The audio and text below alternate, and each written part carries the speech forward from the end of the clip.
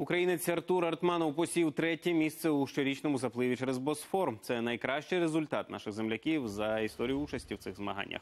Організовує їх е, турецький олімпійський комітет. Подолати 6,5 кілометрів протоки, що роз'єднує Європу та Азію, зголосилися майже 2,5 тисячі відчайдухів із 59 країн світу. Вода з кожним метром дедалі холодніша. Фінішувати було непросто, бо вона ну дуже холодна. Це було круто, звісно, але дуже складно.